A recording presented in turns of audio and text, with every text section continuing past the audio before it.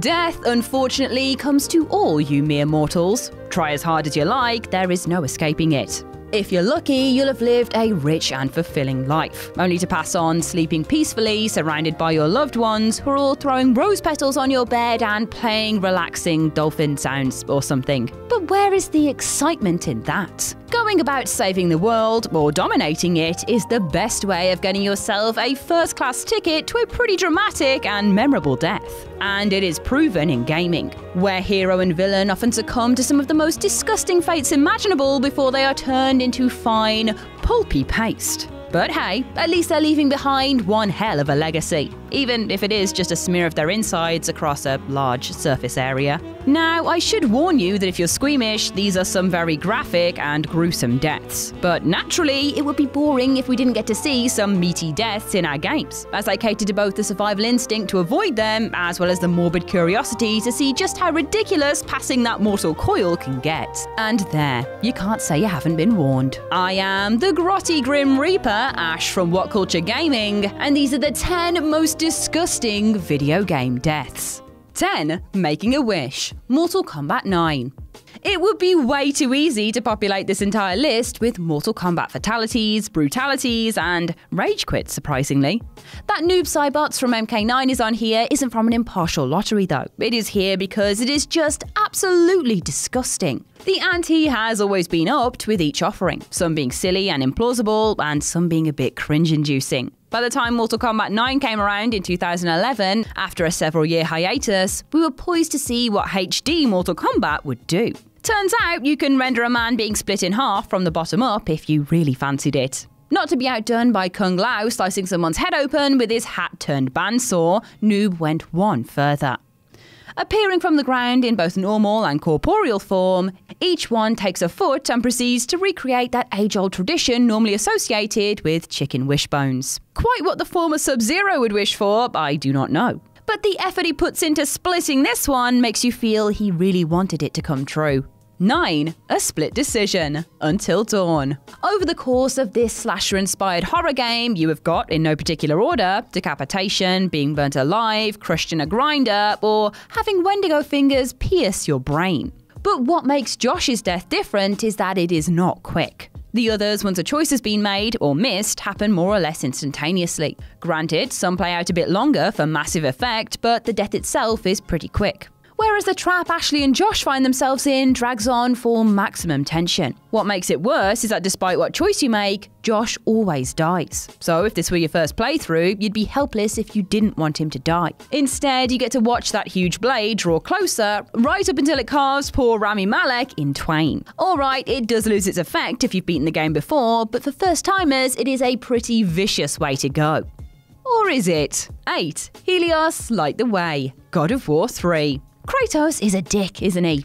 Alright, he may have mellowed out a bit by the 2018 reboot, but prior to that, he is definitely a bit of a dick. God of War 3 is a fine example of this, as the unstoppable ball of rage hurdles ahead to exact his revenge on Zeus. Not content with cursing the land with plagues, floods, and other catastrophic events, Kratos' wrath is fully focused on the gods themselves. Which is unlucky for Helios, the god of the sun, as Kratos lines his sight on him. For as well as being a target on his warpath, Kratos has to use a certain element of the god to aid his quest his head. Whether god or human, most of us are usually quite attached to our heads, not in a treasured possession way either. Seems Kratos does not give two hoots though, as he goes about separating the man from his mind. To call it decapitation would be nicer than the actual, which is just tearing it off with both hands and a lot of willpower. 7. Ellie's Revenge The Last of Us. It is often said, very philosophically, that man's biggest foe is man itself. Sure, the world of The Last of Us may be populated with cordyceps infested zombies, air quotes, but it is the humans that give our gang the most trouble in their adventure, which Ellie finds out firsthand on a mission to find supplies for a wounded Joel. And you all know what's next. She comes across David and his men. Far from being standard looters, they take the extremes of a failing society further by resorting to cannibalism, which they intend to do to Ellie. So, naturally, David is a bad guy. He has to die. But rather than a straight shootout, Ellie has to sneak up on the crafty cannibal to get the upper hand. Rather than offing him and being done with it, Naughty Dog chose this point of no return to drive the realities of survival into Ellie, with a dozen horrible, thudding, heavy machete blows to the head. It's only a Joel ex machina that stops us having to endure more, but the damage is done. For both the player and Ellie, it was an eye opening moment. 6. Peeling back. Mortal Kombat 11. Granted, I did say I could fill this list solely with Mortal Kombat fatalities. I won't, but this one was too good to avoid. This one is worthy as not only is it disgusting, it was surprising for a character like Geras. Despite being on the side of evil in the story, Geras comes across as a quite stoic, bit heavy hitting new combatant. Imbued with mastery over time and sand, Geras' first fatality is fairly mild, for Mortal Kombat standards anyway. But invest some time to unlock his second one and prepare yourself for some unflinching, uncompromising gore. It starts off fairly tame, with the man mountain punting his unlucky victim into a block of sand. So far, so injustice. Then the hand comes in, before getting a decent grip and flaying the poor loser in one massive tear. Not just a little face pull like Baraka's food for thought, oh no, top to toe. Relieved of half their skin, like a fleshy Kinder egg, we get treated to a very disgusting visual spectacle of a skinned person trapped in a sandy tableau. Even better if you've invested in a 4K TV. 5. That horrible choice. Wolfenstein The New Order. Killing Nazis is such a common occurrence in video games now that most of us are desensitized to it. Much like zombies or aliens, Nazis are any other cannon fodder to the average gamer. So when Wolfenstein The New Order arrived in 2014, players weren't expecting one of the most visceral, gruesome torture scenes put to game.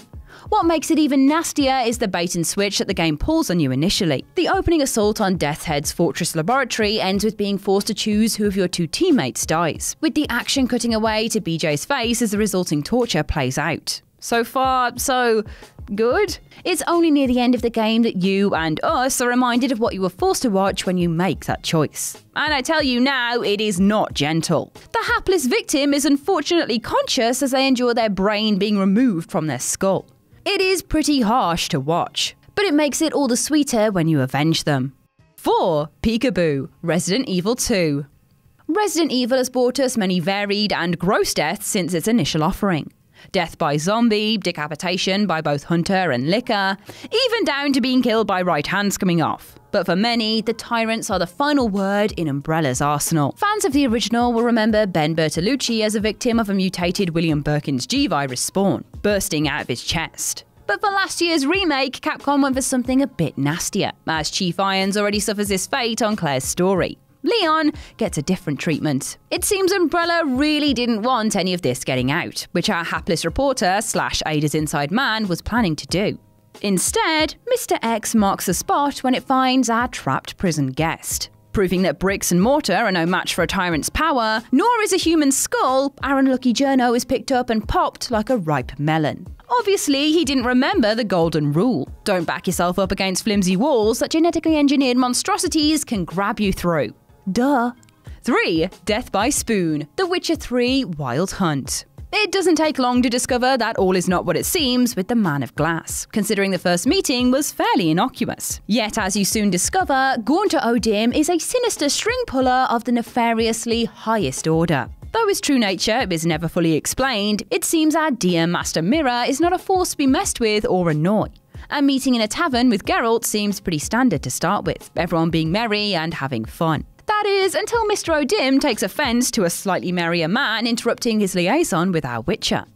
Instead of using harsh words, he goes one further. A bit further, in fact, as he stops time and proceeds to slide a spoon into the frozen man's eye. Not just a little love tap either, oh no, deep enough to squelch, which we get to experience. The whole scene plays out as a macabre spectacle of the evil and trickery O'Dimm can do. The poor guy didn't see it coming. Ha ha. And upon returning time to its regular flow, the results are exactly as dark as you'd expect. 2. No peace here. Metal Gear Solid 5 Ground Zeroes. Considering her name means peace, there is absolutely nothing peaceful about the treatment of Paz in the Metal Gear Solid 5 prologue Ground Zeroes. She was raised by Cypher to infiltrate Big Boss's forces, only to steal Metal Gear Zeke and be presumably killed at the end of Peace Walker. Which is bad enough, right? Sadly, no. Suffice to say, Paz's time at Camp Omega is pretty grim, even for Metal Gear standards. Certainly, you wouldn't have expected the man with a skull for a face to have sewn a bomb into her stomach, which gets removed in no polite manner. It is not a small bomb either, but hey, crisis hopefully averted. But wait, there's more! It turns out there is not just the one, but a second bomb about her person. And I literally mean about her person, and she's only wearing a pocketless jumpsuit. I won't draw you a picture, I'm sure the editor will. It is not a pleasant death for the once angelic Paz. Not at all. 1. I messed up. Dead Space 2. Poor old Isaac Clarke. After the events of the first game, you'd think that would be enough to break a man. But alas, by the time the sequel rolled around, Mr. Clarke was tasked with a much higher purpose, as well as not dying along the way. It's bad enough when everything is trying to slice your limbs off, decapitate you, or even worse, occupy your still twitching corpse as a gross puppet thing. It also doesn't help that the environment can mess you up if you stray from the path or step on a broken gravity panel either. So you'd think he'd be granted a bit of slack when it comes to retrieving the information of the marker burned into his mind.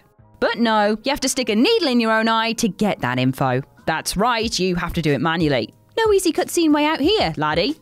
As you can see, if Isaac is too tense or moves too much, the results can be more than slightly bad for his health. Ugh. And that's our list. What other disgusting video game deaths belong on this list? Share your thoughts in the comment section below. I've been Ash, and this has been What Culture Gaming. Don't forget to like, share, subscribe, and come back again soon for some more gross gaming content. Thanks for watching.